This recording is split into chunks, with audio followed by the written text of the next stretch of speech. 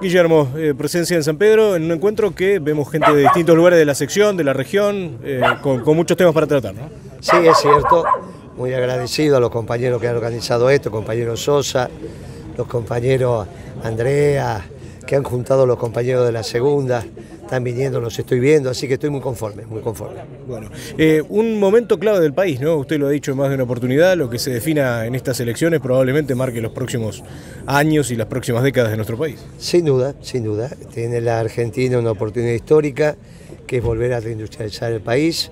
El mundo lo permite, se terminó la globalización, está surgiendo una discusión entre los pueblos alrededor del nacionalismo, que es lo que va a reemplazar la perimida globalización.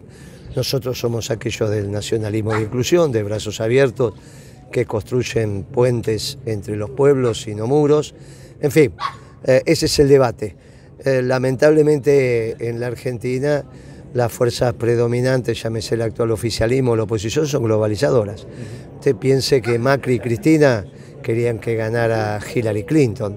Ahí está claro su visión del mundo. Me parece que están totalmente equivocados eh, y desperdiciaríamos quizá la última oportunidad de tener una Argentina industrial. Eh, justamente hace dos años dijo, se perdieron ya varios años, se perdieron dos años importantes que podrían haber significado un cambio para la Argentina. Eh, ¿Cómo se le explica a la población qué es lo que se tiene que hacer ahora para no seguir perdiendo tiempo? Mire, fundamentalmente el mundo permite que se vuelvan a armar los complejos industriales. Eh, si uno observa el discurso de Cristina del 25 de mayo, entre otros elementos hay una contradicción central. No se puede estar pensando que China es el futuro y pensar que hay que industrializar el país. Donde llega China se termina la industria local. Esto lo hemos vivido los argentinos. Yo no sé qué le pasa a la expresidenta, porque esto lo hemos discutido hasta el cansancio. En nuestro gobierno no fuimos pro chino, al menos mientras estaba el peronismo. Ahora, cuando vino la socialdemocracia, evidentemente cambiaron la manera de pensar. Pero el pueblo lo sabe, donde llegan los chinos se cierra una fábrica. Mire, es, ridículo.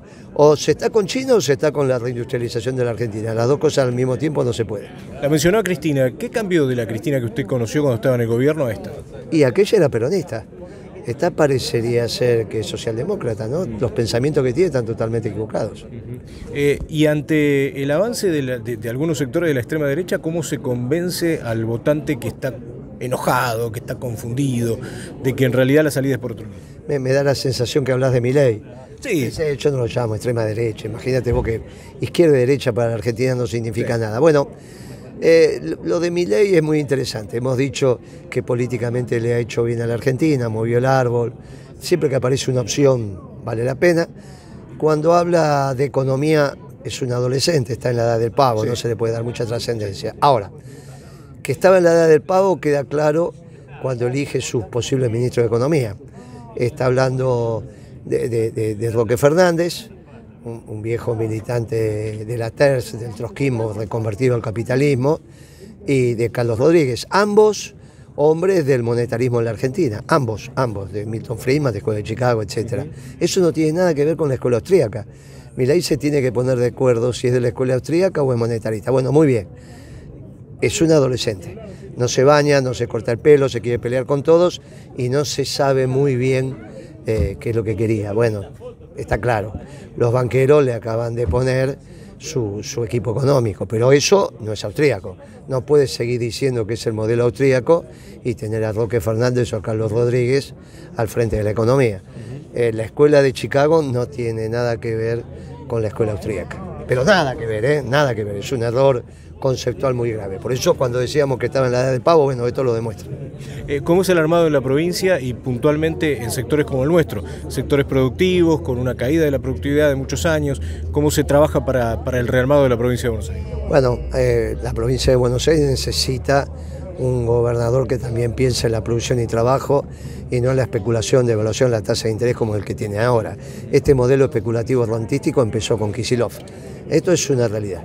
Miren, nosotros en el 2012 habíamos alcanzado la frontera de producción, había que sesgar el modelo hacia lo productivo, ese fue el debate alrededor del gobierno, lo ganó Kisilov, lo ganó la socialdemocracia, empezó este esquema eh, eh, basado en la deuda, fue arreglado con el Club de París, que, que Repsol, que los fondos buitres, después lo continuó Macri y finalmente Alberto Fernández.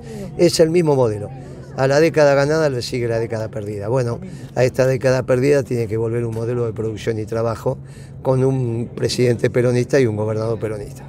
¿El gobernador peronista que tienen en mente es de Lía o hay otras opciones también? No, del compañero que estamos generando el espacio para gobernadores, el compañero de Lía.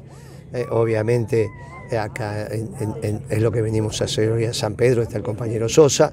Veremos cómo se van organizando sus fuerzas, pero básicamente, si vos me dirías la matanza, y la matanza, por ejemplo, sería Moreno presidente, del día gobernador, Samir intendente. Bueno, sobre eso vamos.